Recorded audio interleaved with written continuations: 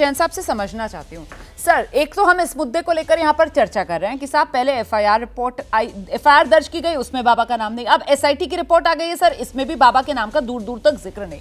और ये इसलिए खल रहा है क्योंकि जो चश्मदीद हैं एसआईटी ने भी जिनके बयान दर्ज किए हैं, वो सर कैमरे पर आकर ऑन रिकॉर्ड ये कह रहे हैं कि साहब, मंच से बाबा ने कहा था कि जब मैं निकलूँगा तो मेरी चरण रज लीजिएगा, आपके कष्ट दूर हो जाएँगे। और बावजूद इसके सर एसआईटी पूरी रिपोर्ट तैयार करके सौंप देती है मुख्यमंत्री को। और एक बार, रस्मन ही सही, बाबा से पूछताछ तक नहीं करती है, सर। आपको हैरानी नहीं हो रही है, सर? ये कैसे एसआईटी रिपोर्ट तैयार कर ली? जब चश्मदीद खुद कह रहे हैं कि बाबा की तरफ़ से ऐलान मंच से किया गया था तो कम से कम एक बार बाबा से पूछताछ तो कर लेती, सर। जाँच के दायरे में तो लाया जा सकता था बाबा को या नहीं? बाबा को इतनी बड़ी हस्ती है कि उन्हें छुआ तक नहीं जा सकता। जैन साहब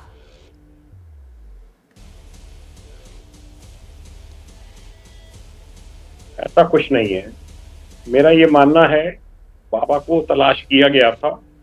मैनपुरी आश्रम कुछ आश्रमों में पता लगाया गया था, मोबाइल स्विच ऑफ़ करके। देखिए, हमें ये नहीं भूलना चाहिए कि ये सूरजपाल पुलिस में रहा। और इसको, ये सब गतिविधियाँ पता है पुलिस की कि किस प्रकार से पुलिस तलाश करती है। इसको तलाशा गया था, मुझे बताया गया है मैनपुरी आश्रम में, और एक दो आश्रमों में वहाँ नहीं मिला। और और भी किसी आश्रम में इसकी सूचना नहीं है, ये किसी अज्ञात स्थान पे है।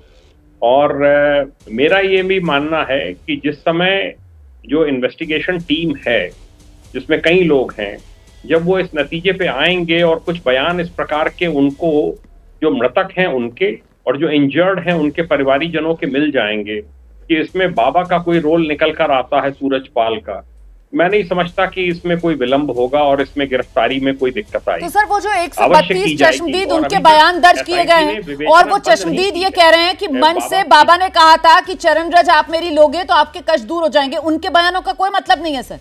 सिर्फ़ जो जख्मी है उनके बयान या जो मृतकों के परिवारजन है उनके बयान। आप ये कह रहे हैं सिर्फ़ उन्हीं के बयानों तो के आधार पर एक्शन होगा। बाकी ये चश्मदीदों के बयान के आधार पर जो एसआईटी ने रिपोर्ट जमा कर दी है मतलब फिर वो तो उसका तो कोई मतलब ही नहीं है ये कह रहे हैं आप।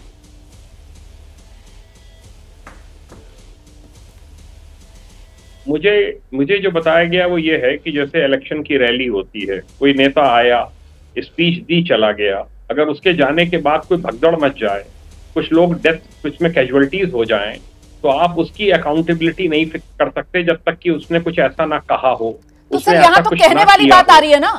यहाँ तो चश्मदीद कैमरे पर आकर ये बता रहे हैं कि बाबा ने मंच से कहा था मेरी चरण रज आप लगाएँगे तो कष्ट दूर हो जाएँगे। और चश्मदीद बता रहे हैं कि फिर जैसे ही बाबा निकले उनकी चरण रज लेने के लिए लोग उनके पीछे पीछे दौड़ पड़े।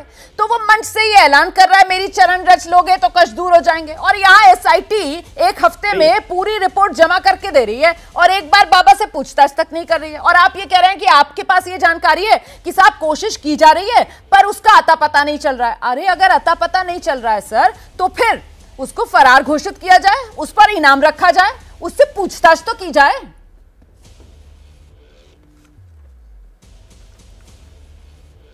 मैं जो मुझे बताया गया वो ये कि अभी तक कोई ऐसी एविडेंस नहीं मिली है सूरजपाल के खिलाफ, जिससे कि इसको एब्सकॉन्डर डिक्लेयर किया जा सके, जिससे कि इसको भगोड़ा डिक्लेयर किया जा सके और इसकी पकड़ धकड़ की जाए। जो अकाउंटेबिलिटी फिक्स की गई है एसडीएम की सीओ की इंस्पेक्टर अन्य की, वो सही की गई है।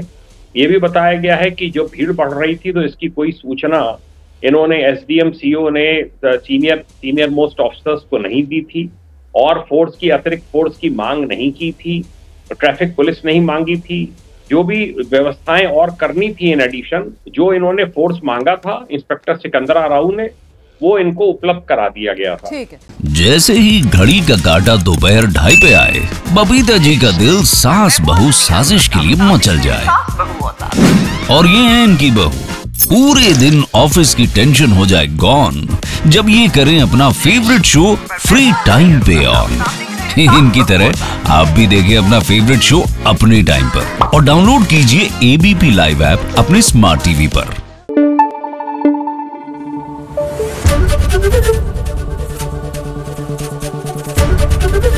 एबीपी न्यूज़ आपको रखे आगे।